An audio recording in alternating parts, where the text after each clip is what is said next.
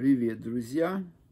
Решил сегодня вот, глядя на погоду, на дворе 10 градусов тепла, идет мелкий погативный дождь. И я вот, глядя, что мое предыдущее повествование немножечко понравилось, вот, решил поговорить, порассусоливать сегодня на следующую тему. Ехал вчера я где-то в машинке, слушал радио, и один из каналов, значит, проводит параллель между фашистским, попыткой фашистского вторжения в Британию в 1940 году и произнесенной известной речью Уинстона Черчилля о том, что, ну, типа, отступать нам некуда, что у нас выход такой, мы должны все стать на защиту нашей Родины, да. Ну, говорилось о Британии. Дословно слова не буду перечислять. Вот, хочется сделать когда это фильм более информативный, вставить картинки, вставить эти речь Черчилля по радио, как американская, э, американская, говорю, как германские корабли со всех сторон утюжили британские моря, пытаясь владычицу морей утопить, когда тысячи самолетов Люфтваффе атаковали, бомбили Лондон, другие города, знаменитая Ковентри, за которое, ну ладно, значит, то есть шла реальная война, и в одном из своих повествований я говорил, что тут собирали металл везде, слили с него оружие, пушки, то есть вся Британия как один встала на защиту своей родины. И в этом же повествовании, в этом радио, ведущий говорит о речи Бориса Джонсона, что сейчас на нас, как и в 1940 году, навалился враг. Навалился враг, нас уничтожает, э, то есть враг невидимый, и зовут его бактерия COVID-19. У меня сразу возникла такая ассоциация. Да, наверное, правильно говорят, но когда говорят, врагом выступил COVID-19, пандемик, эпидемик, враг не пройдет, да? Но у каждого врага должно быть имя, фамилия, или, по крайней мере, кличка какая-то. Ну, не может же быть вирус, который навалился на весь мир и который утюжит экономики если сильно развитых стран, то можете представить, что он делает с недоразвитыми странами или недостранами, или с колониальными какими-то моментами. Так вот, проводя параллели между 1940 годом и современными днями, когда весь мир, включая Британию, накрыла волна страшного коварного вируса, но на самом деле существует, потому что мой хороший знакомый буквально сгорел за два часа ночью, я уже рассказывал об этом. Хороший парень, но он страдал э, диабетом, так, неважно относился к своему питанию, просто легкие свернулись и все, он умер. Жалко, хороший человек был, очень хороший, дровосек наш. Вот. Так, проводя параллели между 1940 годом, когда четко было ясно, что гитлеровский сговор, Гитлер попытался атаковать Британию всеми возможными э, средствами для того, чтобы не оставлять у себя э, в тылу ну, врага с точки понятия Гитлера. А сейчас, да, и пытался, конечно, гитлеровские нацистские войска – Э, там подводные лодки, корабли, самолеты, все использовали для того, чтобы развалить центр Британской империи и бомбили Лондон довольно-таки серьезно. Если посмотреть старые документальные фильмы, конечно, кто говорит, да что там эта игра, какая нахрен игра? Игра Советского Союза тоже была с Гитлером. И игра тоже там вашим, нашим и непонятно кому, кому нашим. Так вот, проводя параллели с сегодняшним днем и говоря на том, что враг накатился на Британию, не только Британию, Британия одна из э, сторон, идет современная, в современных понятиях, современными методах гибридная война, мировая война, мирового масштаба. Вы можете посмотреть, все страны, включая высокоразвитые, подверглись этому массированному нападению со стороны определенной группы лиц, у которых есть имена, но которых пока никто не называет, которые впустили свой вирус на, э, с территории Китайской Народной Республики, а там доминирующая коммунистическая партия, и именно с Уханьской лаборатории произошла утечка вируса, об этом подтверждают даже сами китайцы. И смотрите, что самое интересное. Вирус был обнаружен 18 января. А уже в конце декабря на территории Британии были больные, и люди были с проблемами легких с пневмонией. Никто этого не знал. Масса народа работала там, ездила туда-сюда, китайские дети в огромном количестве. Кажется, 150 тысяч студентов ежегодно получают британские визы на учебу с Китая.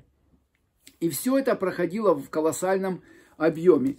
Если в Ухане только в первые дни, там 18, 19, 20 выявили только 260 больных вирусом, то можете себе представить, что до этого числа инфицирование всего мира произошло именно с такого торгово-экономического хаба, который находится в Ухане, и люди по всему миру ездили и перемещали. У меня есть подозрение, это мое такое субъективное или какое-то там мнение, несерьезное, пусть мне это приснилось, что произведя этот вирус, Китайская народная республика во главе своего вечного лидера, пытаясь захватить мировое господство, а экономическая война остается войной, и повергнуть своих врагов западный мир, западную цивилизацию в коллапс, для того, чтобы очистить рынки для продукции своей – выпустила вирус, дала возможность этому вирусу распространиться,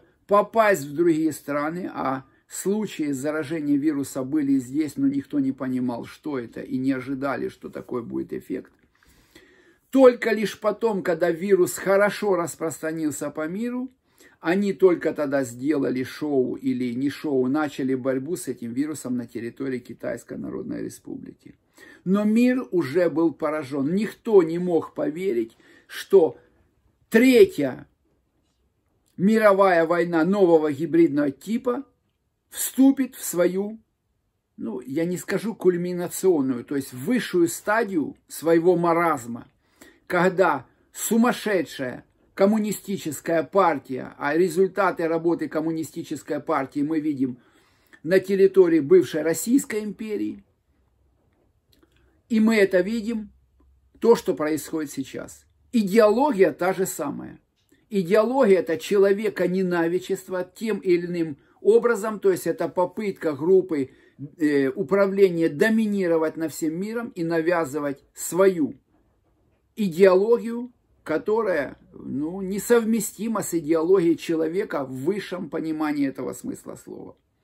Инфицировав весь мир и ввергнув мир в колоссальный коллапс, мало того, что Китайская Народная Республика еще на этом колоссально зарабатывает, потому что до этого, за много лет до этого еще, в 90-х годах германские э, производители, американские, британские, другие, видя в Китае дешевого производителя – импортировали туда технологии, представители в виде инженерных работников, которые создавали фабрики, учили людей и учили технологическим процессам производить доступные, ну, доступный ассортимент ширпотреба, который не требует больших, ну, возьмем технологических, технологических э, изысканий или технологических э, решений. И вот благодарность коммунистического Китая такова, что Китай, Китайская Народная Республика, люди здесь ни при чем, правительство, пусть думает правительство, о том, что Китай отплатил сполна звонкой монетой, так же, как и в 1939 году разные страны искали с развивающейся, с развивающейся, стремительно развивающейся германской милитарной машиной пытались находить компромиссы, пытались сгладить какие-то острые углы. Но с наци, наци, нацистской идеологией, с коммунистической идеологией, опять же возвращаясь на примере Советского Союза, нельзя мириться. Эта идеология должна быть запрещена повсеместно во всем мире. И фанаты этой идеологии должны преследоваться уголовными методами.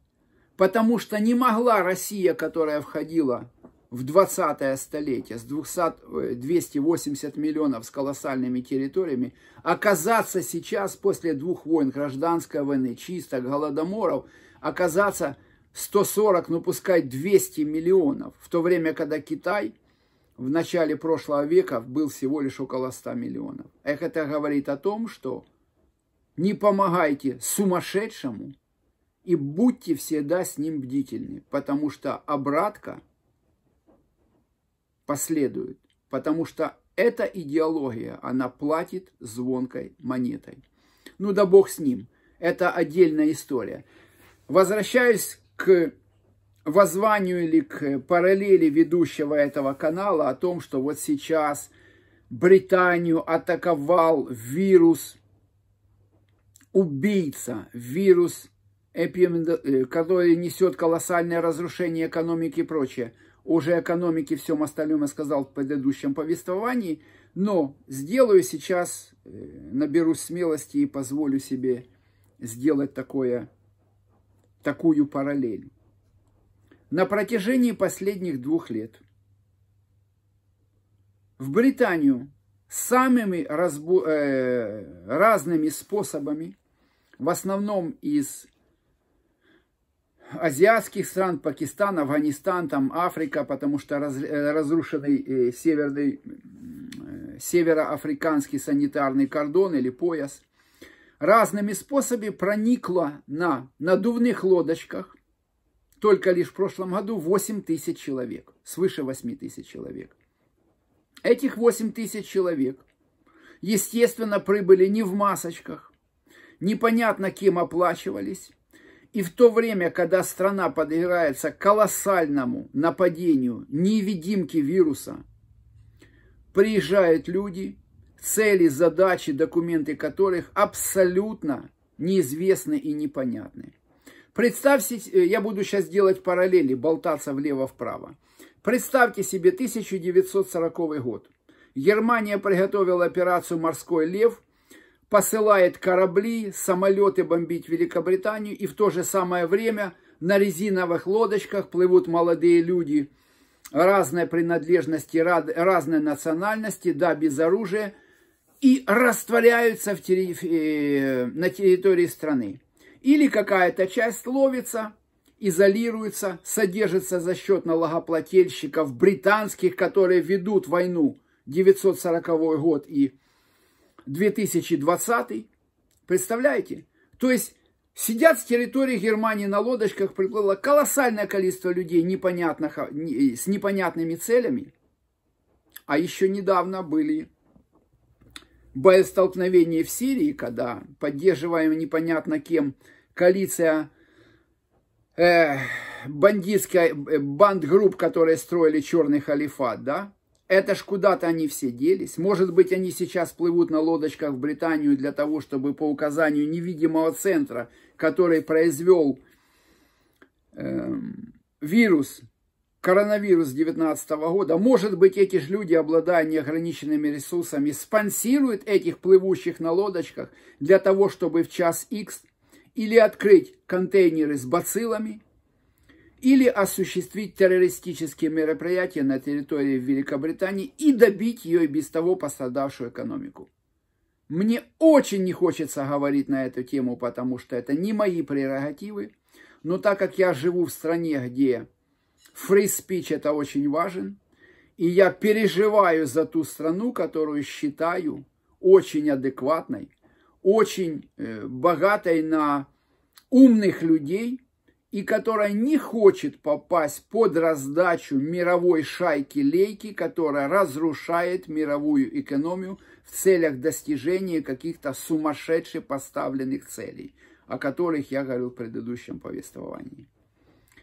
Кроме всего прочего, на территории Великобритании находится 56 тысяч нелегальных иммигрантов, которые находятся под контролем, или даже сейчас 60 тысяч. Для них строятся за деньги налоплательщиков э, лагеря, detention, то есть временного задержания. Масса из них живет по гостиницам, питаются, содержатся за счет государства.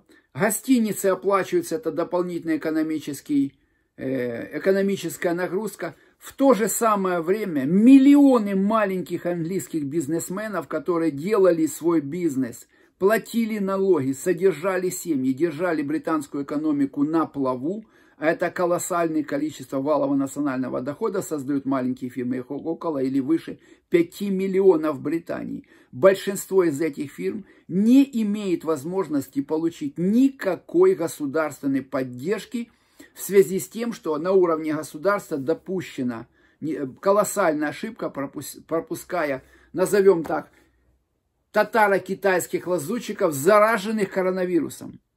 Если даже Китай, а идет реально Третья мировая война нового гибридного типа, и она сейчас находится в самой высшей стадии его, ее как бы продвижения, кто кого, то есть уже весь мир стал друг против друга. Все кричат коронавирус, но у каждого вируса есть хозяин, тем более в современном мире.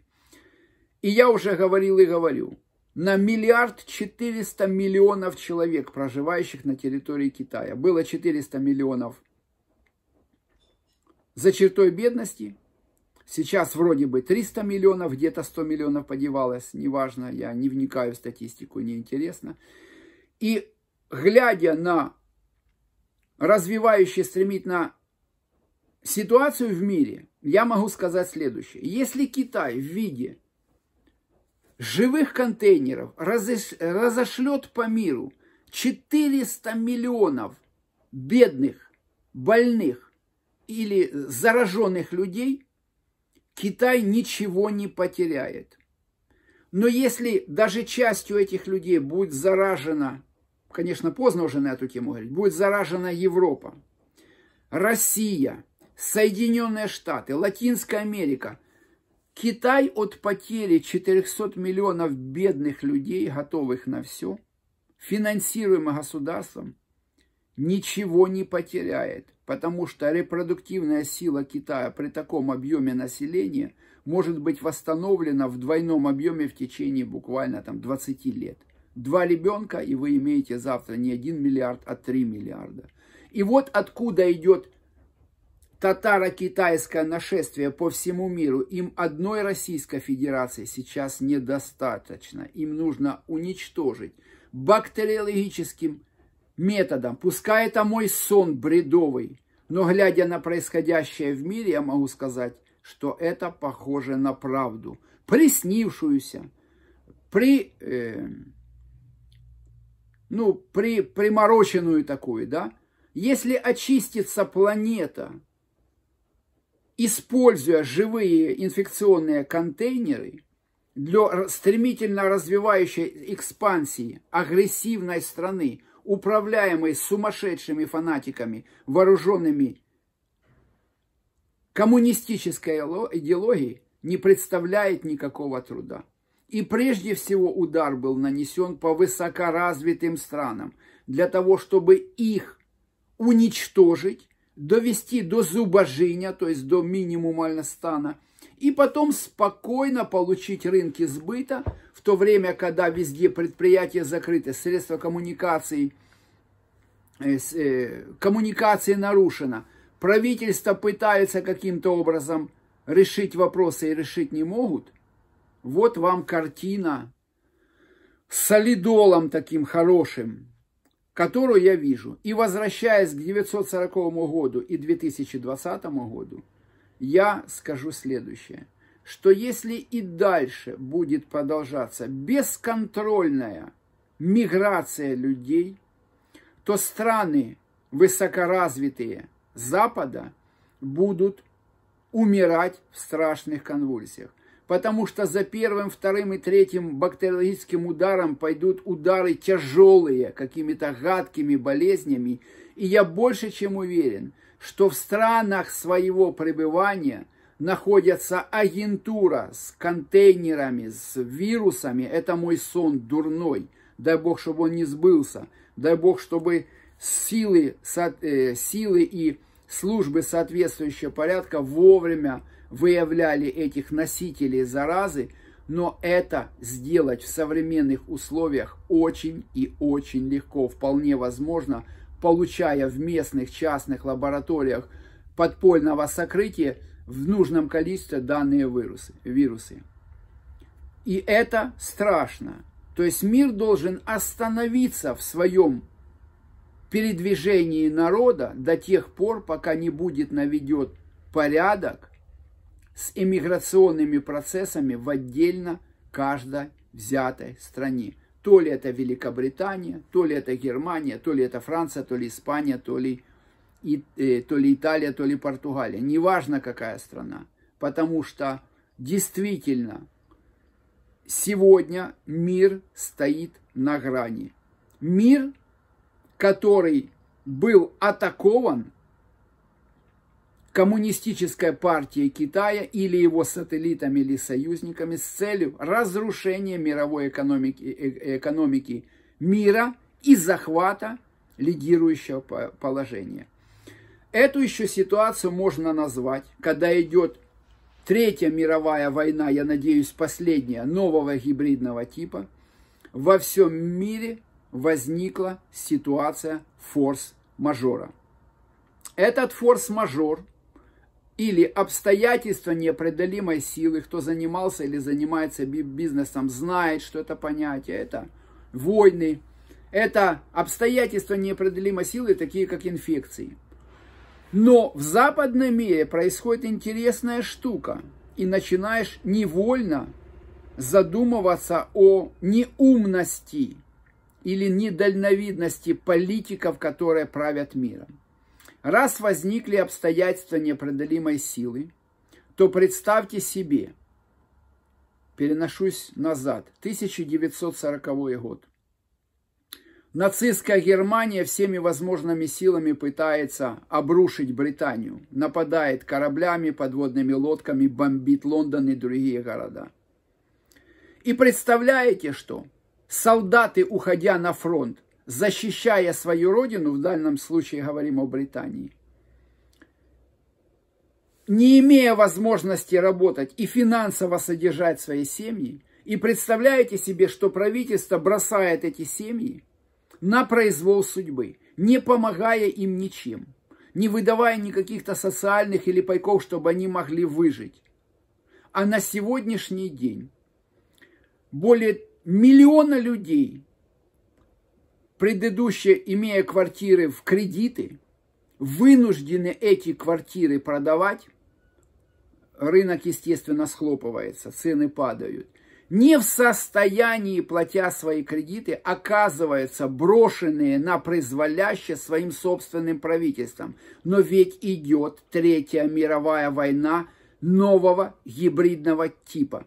И люди готовы работать на э, благосостояние своей страны, на, на его физическую и Э, интеллектуальную защиту. Я говорю отдельно взятую страну для того, чтобы каждая эта страна может применить конкретно к своему конкретному случаю. И когда правительства начинают игнорировать собственных граждан, не помогать им, не аннулировать эту долбанную финансовую систему, которая и привела в погоне за мамоной к этому краху, Поэтому и Китай, воспаленный этим золотишком в голове, произвел эту бактериологическую атаку на весь мир. Ну тогда грош цена каждому такому правительству. Неважно какой страны. Пусть это сон, пусть это бредовые какие-то повествования, но именно это то, что происходит. И я не верю, что бизнес и капитал, который знает, что чем больше клиентов, тем лучше процветание отдельных бизнесменов, бизнесменов – задумался о том, чтобы ну, уменьшить количество населения на планете. Это бред, это нонсенс. Поэтому, ну, эти данные разговоры, это философствование наедине с самим собой, разговаривая, разговаривая с интернетом, как с синтетическим высшим разумом среди разумов, но это синтетический разум. Выключили свет и разума нету.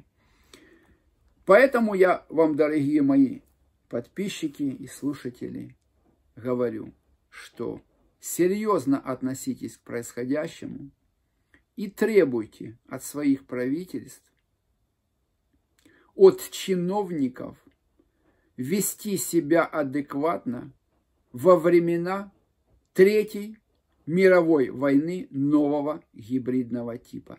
И если они не могут или не хотят поддерживать своих налогоплательщиков, своих защитников, своих граждан и жителей, значит, эти правительства не стоят и ломаного гроша в базарный день. Значит, они куплены врагом новыми, модифицированными и синтетическими способами, о которых вы даже не подозреваете.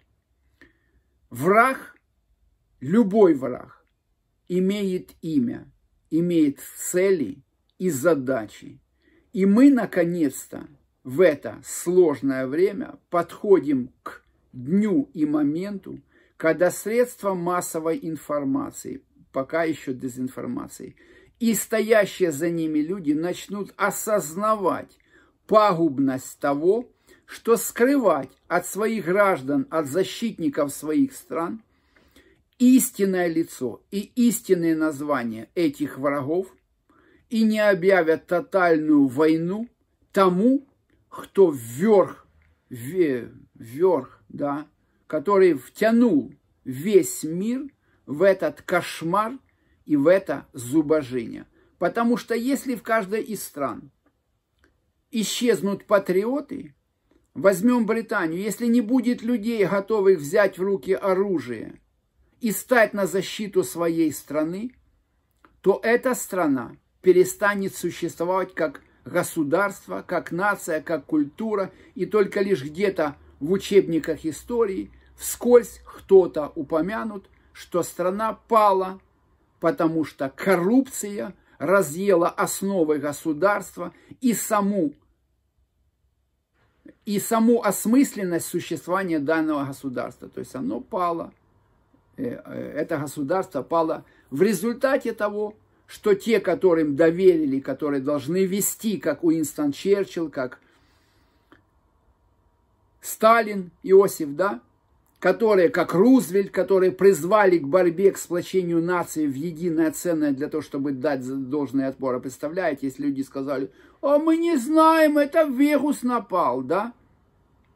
Эти страны перестанут существовать. Ну и тогда горе побежденному.